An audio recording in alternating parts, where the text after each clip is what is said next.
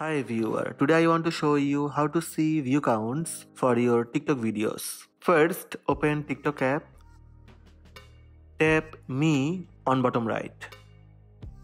Here you will get your all posted videos. You can see view count on bottom left beside arrow mark. If you want to check someone's view counts, go to their profile and similarly you can see the view count on bottom left. So these are the steps to see view counts for TikTok videos on iPhone and Android phone.